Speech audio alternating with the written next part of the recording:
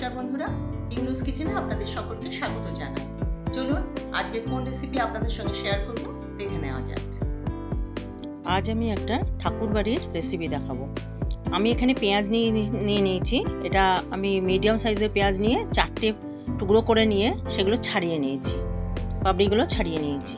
আমি এখানে তিনটে মিডিয়াম সাইজের পেঁয়াজ নিয়ে নিয়েছি। এখানে আমি একটা কড়াই দিয়েছি, কিন্তু আমি গ্যাসের ফ্লেম কিন্তু অন করিনি।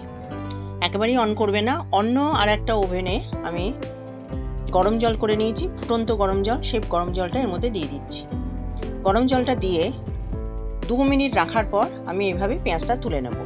এটা কিন্তু একদমই ফোটানো চলবে না। আবারও আমি এরকম গরম জল দিচ্ছি, এরকম আমি ছবার করব। দেখো কালারটা পুরো চেঞ্জ হয়ে যাবে, তোমরা দেখেই বুঝতে পারবে, আর এটা খেতে অনেকটা লিচুর পায়েসের মতন খেতে লাগে। চলো আবারও আমি এরকম দু মিনিট রাখব, রাখার পর আমি এটা তুলে নেব। তুলে নেওয়ার পর আমি কড়াইয়ের কিন্তু পেঁয়াজের গন্ধ বেরোবে, তার জন্য কিন্তু ওয়াশ করে নিয়ে তারপরে আমি ঘি দিচ্ছি। এখানে এক চামচ ঘি দিয়ে দিলাম, ঘিটা নাড়িয়ে চাড়িয়ে দিচ্ছি। এবার যে পেঁয়াজগুলো আমি তুলেছিলাম, সেগুলো একটা টাওয়েলের মধ্যে দিয়ে ওটা একটুখানি জলটা ছড়িয়ে নিয়েছি, নাহলে ঘিয়ের মধ্যে গেলে চটপট করবে। এবার পেঁয়াজগুলো দিয়ে দিচ্ছি, এটা কিন্তু ভাজা হবে না, একদম লো ফ্লেমে এটা আমি দু মিনিট একটু নাড়াচাড়া করব। দু মিনিট নাড়াচাড়ার পর আমি এগুলো উঠিয়ে নিচ্ছি। এবার সেই কড়াইয়ে আমি এখানে ফাইভ হান্ড্রেড এমএল দুধ দিয়ে দিচ্ছি। দুধটা ফুটে গেছে, এখানে আমি দুটো এলাচ গুঁড়ো করে দিয়ে দিয়েছি।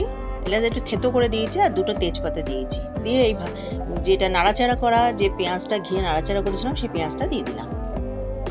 পেঁয়াজটা দেওয়ার পর একটু ফুটবে আর একটার মধ্যে আরেকটা লেগে থাকবে, সেগুলো একটু ছাড়িয়ে দিতে হবে। এর মধ্যে কিশমিশ দিলাম অ্যালমন্ড নিলাম পিস করা।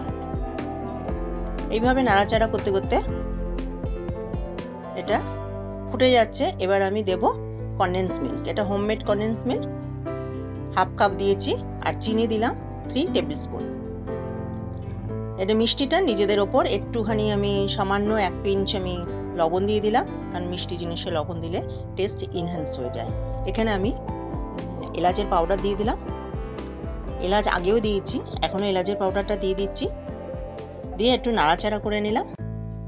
এই পায়েসটা খেতে কিন্তু দারুণ লাগে। একদমই বোঝা যায় না যে এটা পেঁয়াজের পায়েস। যদি আমার এই ভিডিওটা তোমরা স্কিপ না করে দেখো, পুরো মেথডটা দেখো, তাহলে তোমারও, তোমাদেরও রেজাল্ট কিন্তু এই রকমই আসবে।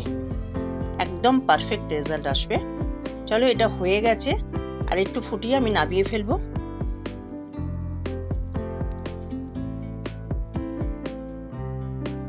এবার একটু ওপর ওপর কিশমিশ দিচ্ছি, আগেও দিয়েছি, আর অ্যালমন্ড ফ্লেক্স দিয়ে দিচ্ছি। এই রেসিপিটা যদি তোমাদের ভালো লেগে থাকে, তাহলে অবশ্যই লাইক করো শেয়ার করো, আর আমার চ্যানেলকে সাবস্ক্রাইব করতে একদমই ভুলবে না। এই রেসিপিটা করতে কিছু জিনিস মনে মনে করে রাখতে হবে, যেগুলো হচ্ছে যে আমি গরম জল ঢেলে যে কাজটা করলাম, সেটা কিন্তু পারফেক্ট করতে হবে, আর ভাজাটা যেটা নাড়াচাড়া করলাম ঘিয়ে, সেটাও কিন্তু পারফেক্ট করতে হবে। একদম ভাজলে কিন্তু পেঁয়াজ খারাপ হয়ে যাবে। আজকে এই অবধি ধন্যবাদ।